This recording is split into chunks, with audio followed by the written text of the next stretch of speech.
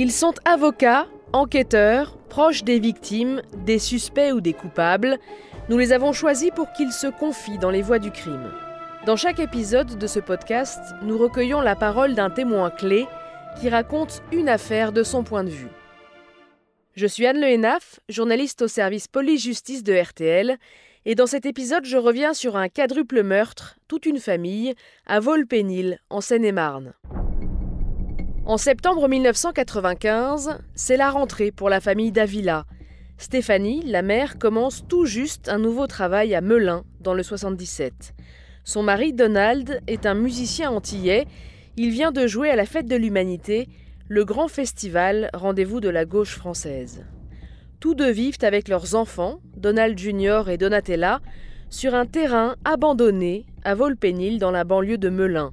Ils ont refait un des deux cabanons déjà construits sur place et mènent un peu la vie de bohème, rythmée par la musique, les amis et le brouhaha des grandes tablées. Mais le 23 septembre, le silence s'installe. Ce jour-là, la mère de Donald appelle celle de Stéphanie. Son fils devait passer avec ses enfants le mercredi, mais il n'est jamais venu. Et depuis, plus personne ne répond au téléphone. Les deux grands-mères s'inquiètent Disparaître sans donner de nouvelles, ça ne ressemble pas à leurs enfants. La voix du crime de cet épisode, c'est Gilberte Crovisier, la mère de Stéphanie Davila. C'est elle qui, pendant plusieurs mois, a mené l'enquête. Bonjour Gilberte Crovisier. Bonjour. Ce mois de septembre 1995, vous êtes donc deux mères, deux grands-mères à vous inquiéter de la disparition de vos enfants. Qu'est-ce que vous décidez de faire? J'appelle la gendarmerie de Melun. Et à la gendarmerie de Melun, je leur demande si euh, les enfants ils auraient eu un accident de la route. Ils me disent non, non, ils sont pas sur la liste de blessés, ils sont nulle part. Et après, je vais appeler le commissariat de Melun. Et au commissariat de Melun, le samedi 23, ils sont très très gentils là. Ce jour-là, l'officier de police judiciaire, il dit écoutez, madame on va descendre sur le terrain, on va aller deux fois sur le terrain pour voir s'ils sont rentrés. Et à 17h, on vous rappelle. Et ça, ils vont le faire. Il me dit, madame, on a envoyé deux patrouilles, voilà, on est arrivé sur le terrain. Et puis après, il a dit, nous, on n'est pas rentré dans la maison, il n'y a pas d'infraction, vos enfants, ils n'ont rien fait, on ne peut pas rentrer dans la maison. Mais des fenêtres, ils ont vu que la vaisselle était faite, que tout était propre dans la maison, qu'il n'y avait pas eu de chamboulement ou de, voire de bagarre ou de choses comme ça, on voyait rien, tout était propre. Donc qu'est-ce que vous faites? Donc le dimanche, euh, ça va me travailler. Euh, vous savez, bon, bah, tous les parents, ils n'ont pas les numéros des amis de leur... Euh, leur possède pas ça. je connaissais ah, ben, ma nièce, bien sûr, et leur amie commune, Sylvie. Et donc, je vais leur poser des questions. Tu as des nouvelles? Est-ce que Stéphanie t'a dit quelque chose? Il y a Sylvie qui dit elle, elle avait quelque chose d'important à me dire, mais elle n'a pas pu me le dire. ça l'inquiétait. Alors bon, Déjà, ça commence, c'est un peu, euh, ça va un peu crescendo. Tout de suite après, il y a, y a Sylvie et dit, ben, quand ils se disputaient, elle venait chez moi, euh, mais là, je l'ai pas vue. Puis une fois, ils se sont disputés assez, assez violemment. Il a poursuivi euh, Stéphanie avec un coupeau. Elle s'est réfugiée dans la voiture. Vous vous dites que c'est Donald qui a dû faire quelque chose à Stéphanie. J'ai dit, bah, il y a eu une autre dispute, et puis euh, il a fait quelque chose de plus grave, et, il s'est sauvé avec les enfants. Alors je pense ça le week-end. Et le lundi 25 euh, septembre, à ce moment-là, je décide d'aller sur place. Pas de voiture, donc bah, c'est Gare de Lyon, Gare de Lyon, RERD jusqu'à Melun. Un jour de grève, pas évident, mais j'arrive quand même. Et quand j'arrive à Melun, je ressens quelque chose. Je ne peux pas expliquer ça. Je sens qu'il ne faut pas que j'aille toute seule sur le terrain. Et je ne connais pas le commissariat, donc qu'est-ce que je fais? Je vais aller sur la hum, mairie de, de Melun. Je vais demander un petit livret, vous savez, où il y a toutes les adresses de la ville, où on peut se rendre. Et je vais appeler l'école euh, où elle travaille. Alors j'appelle, je tombe sur l'intendante et l'intendante elle me fait Ah Madame Crovisi, qu'est-ce qu'on est contente de vous avoir. Stéphanie, elle n'a pas réintégré son travail depuis le 18 septembre. Elle me dit, on a cru qu'elle était malade, donc euh, on a attendu, mais comme on n'a pas eu de, coup de téléphone de sa part, Elle me dit le, le mardi, on a envoyé le, le concierge. Mhm. Le concierge est allé sur place et quand il est allé sur place, il a vu un grand black qui faisait du feu sur le terrain Sur le terrain. et qui lui a dit ils sont partis en vacances. Partir en vacances comme ça, ça ne ressemble pas à Stéphanie. Alors après ce coup de téléphone au collège, vous allez au commissariat. Comment est-ce qu'ils vous reçoivent? C'est une dame qui est là et je lui dis ben je viens, je, je vais voir un officier de police judiciaire pour euh, la disparition de ma famille. Je suis très inquiète. Je lui dis ma fille a disparu, mon gendre a disparu, c'est pas normal. Et puis je lui dis même mes petits enfants ils sont plus là. Oh elle me dit oh bah, écoutez madame si les, les enfants ils sont avec les parents c'est pas grave. Hmm. Mais par contre, je vais vous envoyer à la préfecture. Vous pouvez faire quelque chose que pour votre fille. Vous, vous remplissez la rifle dans la recherche dans l'intérêt des familles. Là, je suis pas bien. Je suis vraiment pas bien. Je sais plus où j'en suis, mais je vais à la préfecture. J'attends mon tour.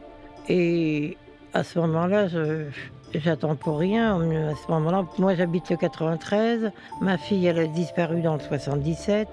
Je peux pas faire un avis de recherche dans le 77. Il faut que je retourne à Bobigny pour faire un avis de recherche à- Bobigny. Donc, euh, qu'est-ce que je fais? Ben, Je repars. hein.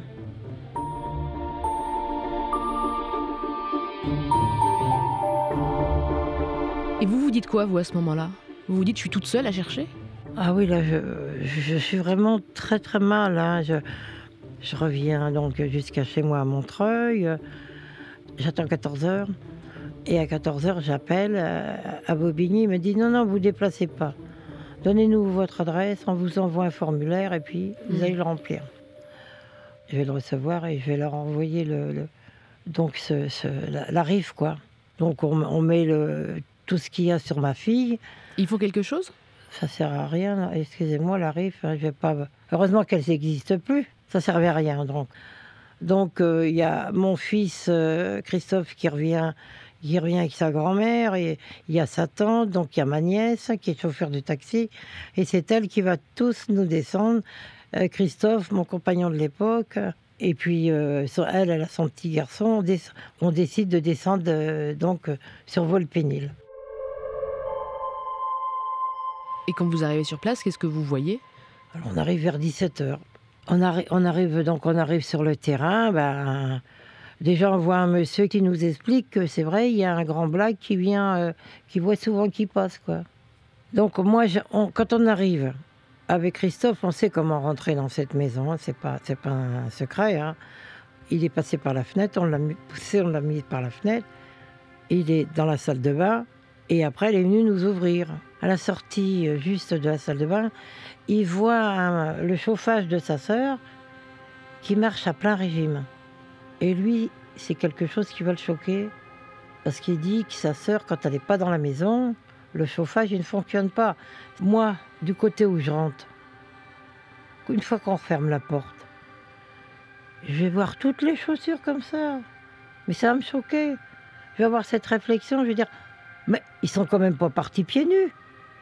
Après, je vois la guitare de mon gendre, elle est en plein milieu du salon. Les sacs qui d'habitude, quand on s'en va, quand on a des enfants, on s'en va pas les bras en ballants. Ma fille, elle avait toujours des. Elle venait avec un ou deux sacs, avec du change, des couches et tout ça. Ils sont là aussi. Les manteaux, les. fait- J'ai dit, il y a quelque chose qui va pas. Et alors, le frigo, il est plein. Il y a à manger. Comme si c'était volatilisé d'un coup. Voilà. Et tout propre. hein. Mais quand même, quand je rentre dans cette maison, mon ressentiment revient. Je, je sens le froid dans le dos. On rentre, on sort. Et puis leur chat va. Il, se met sur le toit. Mais alors il miaule, il miaule, il miaule. Il nous voit. On a l'impression qu'il reconnaît que nous, on est les gens proches. Il nous, il nous reconnaît. Mais il miaule ce chat, s'il avait eu la parole, ce chat. Je peux vous dire qu'on aurait tous eu. C'est une image, mais je le revois encore ce chat.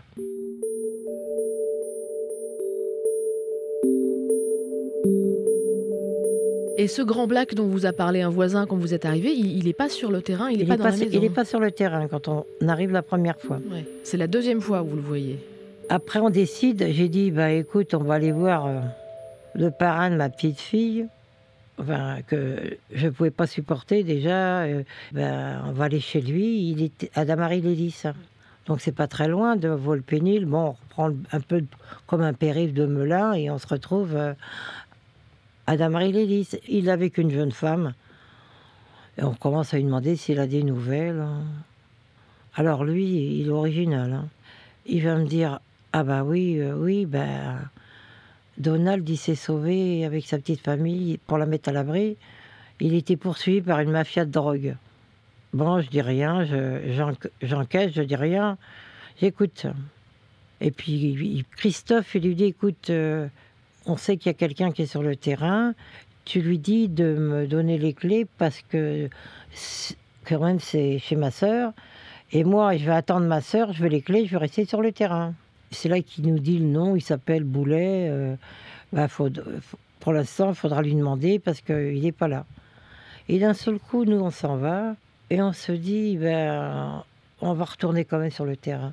Il fait nuit et on voit la lumière sur le terrain. Qu'est-ce qu'il fait, Christophe? Il pense que sa sœur, elle est rentrée.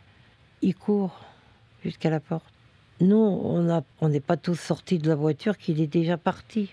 Et quand il ouvre la porte, sur qui tombe? Il tombe sur le grand Black. Christophe, il dit T'es qui, toi? Et après, il lui dit ben, Il dit Moi, je suis Edgar Boulet, toi. Il dit Moi, je suis le frère de Stéphanie. Nous, on arrive, et c'est là qu'il va commencer à nous raconter comment sont partis les enfants. Et dans cette pièce se trouve une femme. On, apprendra plus tard, c'est la appre- maîtresse de. On apprendra plus tard que c'est la maîtresse d'Edgar Boulet.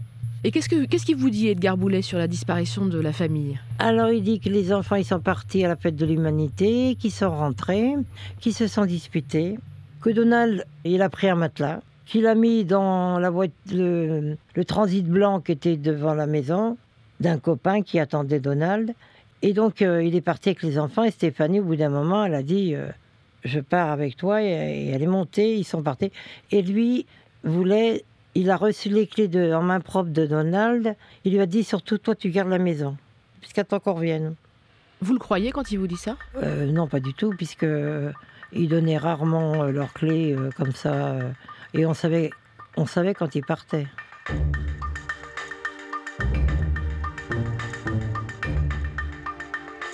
C'est vous en fait qui allez faire un peu le, le travail d'enquête, euh, puisque personne ne veut le faire pour vous. Et c'est grâce aux voitures de votre fille et de ce- votre gendre que vous allez réussir à faire avancer les choses. Racontez-nous ça.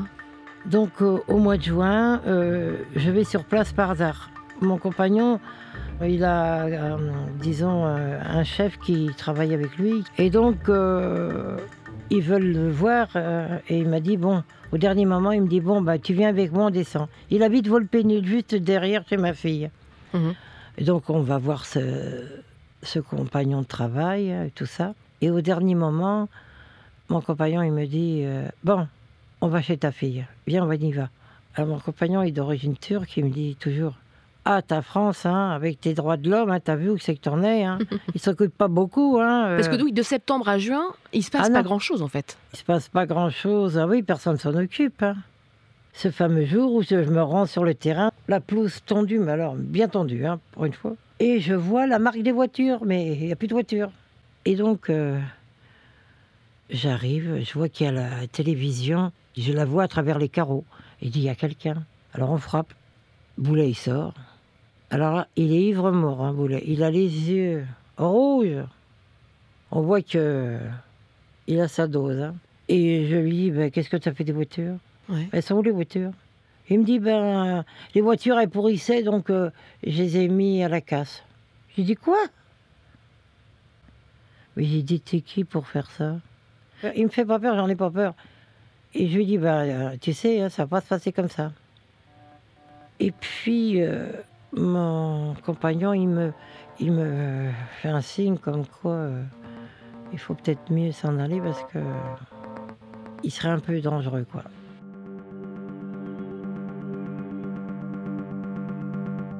Et comment est-ce que vous arrivez à convaincre les forces de l'ordre d'aller voir ce qui se passe vraiment sur ce terrain Enfin? Alors, c'est suite, c'est suite à ça.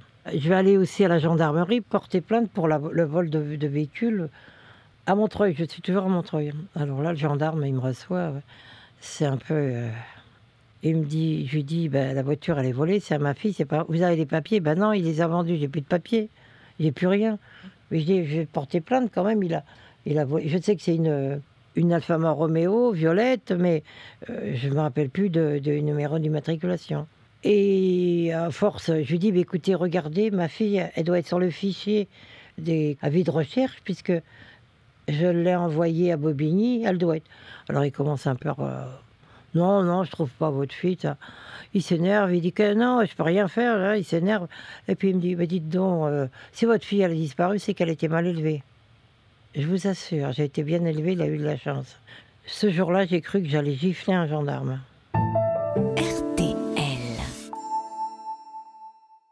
Et comment vous expliquez le fait que personne ne s'inquiète de la disparition de deux adultes et de deux enfants en bas âge?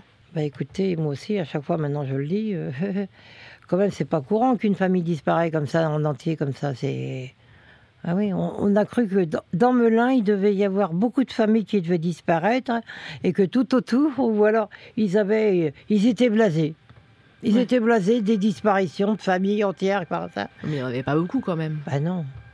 Mais est-ce que c'est parce qu'ils avaient, parce qu'ils vivaient sur un terrain, parce que votre bah, gendre était, bah, oui, euh, bah, Bien sûr, c'est ça. Bien sûr, c'est ça.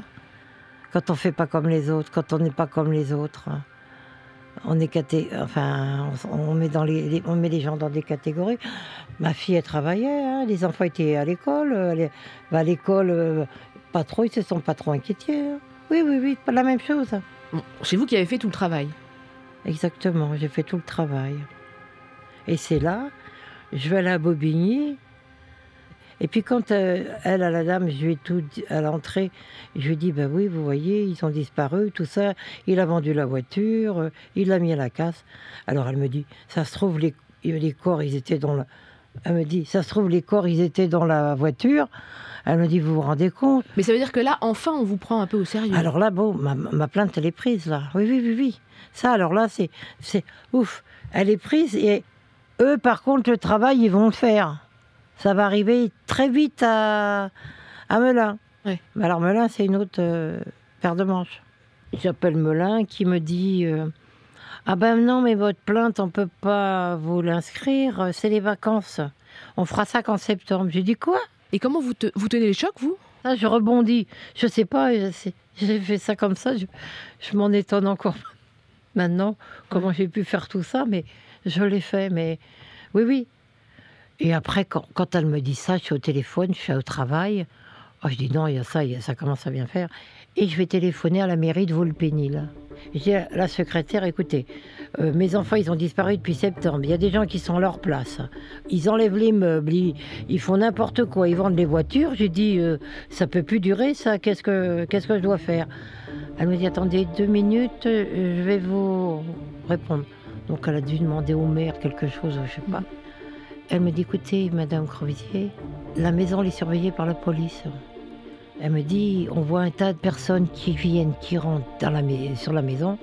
Il y a un îlotier qui surveille et la brigade des stupes. Donc je raccroche et je vais appeler la brigade des stupes de Melun.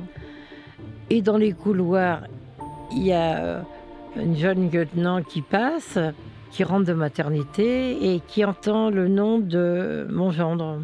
Et elle le connaît, c'est un ami d'enfance, enfin un ami d'adolescence. D'accord. Et elle va aller en parler à sa, le commandant de police qui est sa chef, Madame, Madame Carré. Elle va lui en parler. Elle aussi connaît bien Donald. Et donc, elle va dire oui, on connaît bien Donald. Ben non, ne partirez pas comme ça. Et ça commence. Et quand ils, ils voient que je suis inquiète et tout ça, ils vont me rappeler à mon travail. Et donc, euh, Béatrice Moura, ça va me dire euh, Madame Crovisier, ça vous dirait de descendre chez nous euh, pour une audition? Je lui dis oui, je viens tout de suite. Et le 27 juin à 14h, je me retrouve à Melun, à auditionner au commissariat de Melun.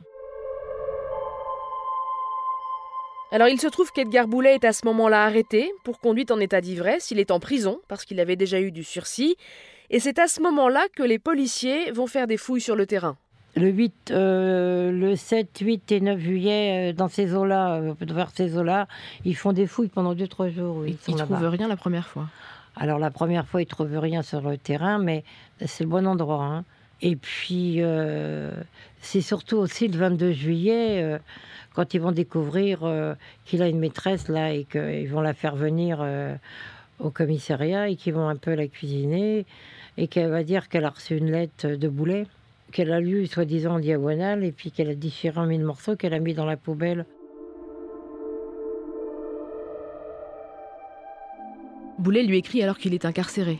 Boulet lui écrit alors qu'elle est incarcérée et lui dit de dire ce qu'il a écrit, Il lui dicte sa version, en sa fait, version, qu'elle doit dire. ce qu'elle fait. ce qu'elle fait. Et donc on s'aperçoit qu'il y a des problèmes, qu'il y a quelque chose qui ne va pas. Parce que les policiers arrivent à retrouver cette lettre Ah oui, ils qu'elle arrivent vient à- de jeter dans une Et la poubelle. lettre, ils l'ont... Ah oui, je vous assure.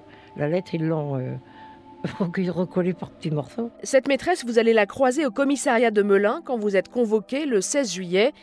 Vous la reconnaissez? On arrive euh, donc au commissariat. Et c'est là que moi, je vois... Je, je revois la femme que j'ai vue le 25 septembre chez ma fille. Ben, je la reconnais, elle entre deux policiers.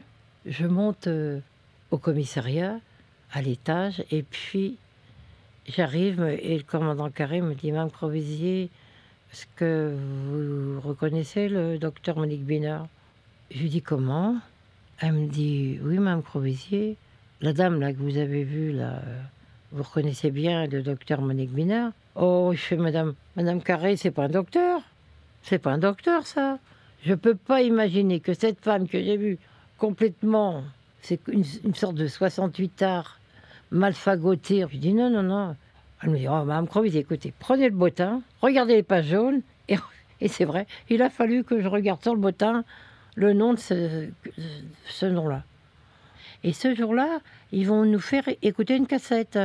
Alors j'entends quelqu'un qui dit Allô, mamie, oui, euh, nous on est la secte. Euh, Donald et Donatella, ils, sont bien, ils vont à l'école de la secte. Euh, Stéphanie, elle reste là. Donald, il joue de la musique. Ils sont bien. Et la pauvre mamie qui dit, mamie d'Abila, qui leur dit, surtout vous leur, euh, ils vont bien, vous leur, enfin, comme une grand-mère, une maman. Et ils se moquent, ils se moquent d'eux. Et donc la maman est très malade. Ils ont abusé d'elle. Ils ont fait passer une cassette pour leur dire que les enfants étaient dans une secte.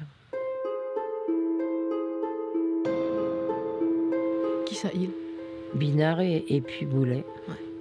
Et alors donc il y a un troisième intervenant qui arrive là et lui il s'est fait passer pour euh, il Boulet l'a enquiquiné et lui a demandé de lui rendre service pour euh, dire euh, cette cassette. Écoutez, elle me dit vous avez eu ça au téléphone? Ben, J'ai dit non. Mhm. Ah, J'ai dit bah, bah non. Ils ils avaient pas osé me le faire.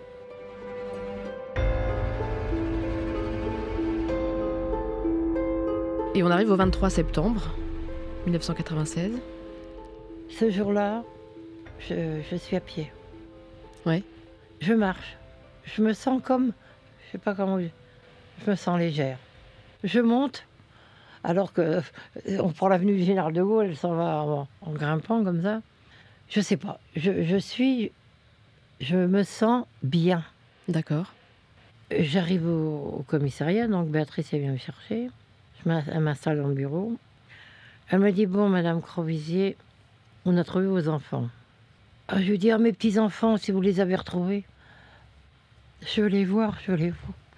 Elle me dit Madame Crovisier, euh, vos enfants, ils ont tous été assassinés.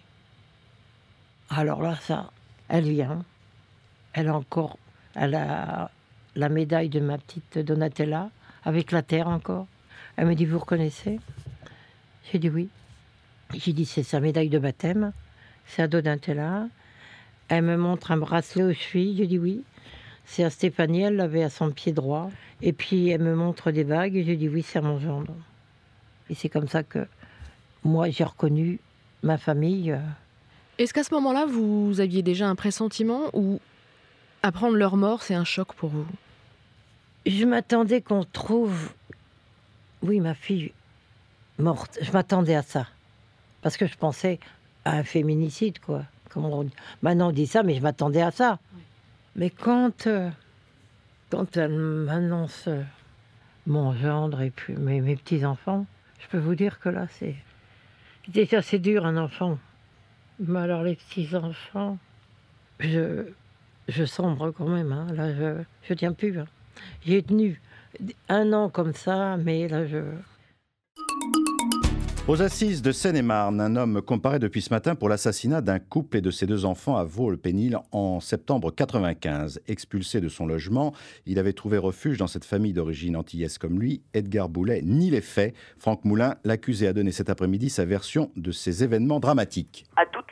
Dans le box, Edgar répond sur le même ton, une voix grave et froide, mais très naturelle avec un léger accent antillais. Toute l'après-midi, l'accusé a donné sa version des faits. Ses amis, une famille entière assassinée, un couple et ses deux enfants retrouvés enterrés dans leur jardin. Juste avant, ils avaient refusé qu'Edgar s'installe chez eux. Qu'avez-vous pensé quand les quatre corps ont été découverts demande la présidente. Edgar répond Je ne les ai pas assassinés. Avec assurance, avec sa carrure solide, il raconte Le samedi de leur disparition, je suis arrivé chez eux. Ils ils m'ont donné les clés en me disant Occupe-toi de la maison. Le jour même, Edgar, sans logement depuis trois mois, s'installe dans la maison. Il prévient la NPE qu'il possède une nouvelle adresse. Pourquoi? Le plus souvent, Edgar répond Je ne me souviens pas, j'ai du mal avec les dates. Avec un ami, Edgar avait téléphoné aux parents des victimes pour leur dire que la famille disparue était dans une secte.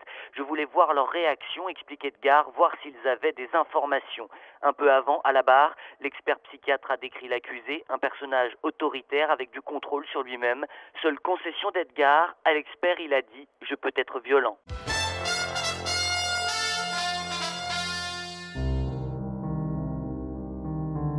Edgar Boulet est condamné à la prison à perpétuité à l'issue de son procès en 2000. Il nie toujours avoir tué Stéphanie, Donald et leurs deux enfants. Selon vous, ce serait quoi son mobile? Pourquoi est-ce qu'il les aurait assassinés? Parce que c'est le terrain qui l'intéressait. Et pas que lui. hein. Il, a, il a été poussé par euh, une personne plus influente. Lui, c'était les mains. Lui, il avait les mains criminelles, mais la tête pensante, euh, elle n'a jamais été punie. Et puis, il ne reconnaît pas. hein. Parce que même jusqu'au dernier moment, il n'a pas reconnu, euh, au dernier moment, vous savez, à la cour d'assises, avant qu'il parte euh, Les derniers mots du... oui, on lui demande de- si- s'il a quelque chose à dire. Et donc, on va lui demander. Ah non, non, j'ai pas tué la famille de la famille d'Abila. Euh, non, c'est la police qui a mis les corps. euh, elle a que ça à faire, du reste, à, à mettre les corps comme ça euh, sur le terrain. Lui, il n'était pas là. Donc, il y a du monde qui peut passer. La police les a posés. Il a dit, c'est textuel, tout ce que je dis, c'est Ouais. ce qu'il a répondu. hein.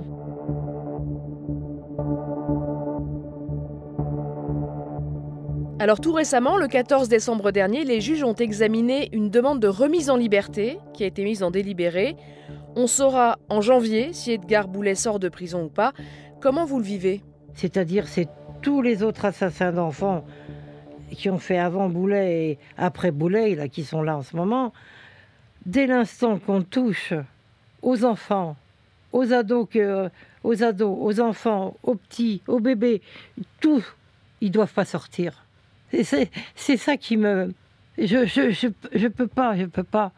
Quand je vois que ma petite fille, elle avait 22 mois, qu'elle avait encore sa couche, oh, comment voulez-vous que. Lui, c'est un dangereux. euh, parce que Boulet, il faut dire, avant qu'il fasse ça, il avait un passé de pointeur de violence. Et depuis le début, c'est pas de maintenant que ça me prend qu'il va sortir. C'est que depuis qu'il a fait sa demande, je parle toujours de sa dangerosité. Vous, vous avez peur qu'il sorte Ah oui. Croyez-moi, je sais ce qu'il faisait. hein. J'ai lu le dossier, je sais ce qu'il a fait. hein. Excusez-moi, les 838 procès-verbaux, je les ai lus. Je suis pas fanatique, mais là, quand même, je pense qu'il ne devrait pas sortir. D'abord, alors bien sûr, en France, je sais, la perpétuité, c'est 30 ans. Il en a fait que 26. Bon, il, il a encore 4 ans à finir. Il n'a pas fini. Pour moi, il n'a pas fini. Donc, il, doit rester encore ses 4 ans. hein. Vous venez d'écouter l'épisode des Voix du crime sur le quadruple meurtre de Volpénil. Vous pouvez retrouver cet épisode sur l'application RTL, rtl.fr et toutes nos plateformes partenaires. N'hésitez pas à laisser une note ou un commentaire.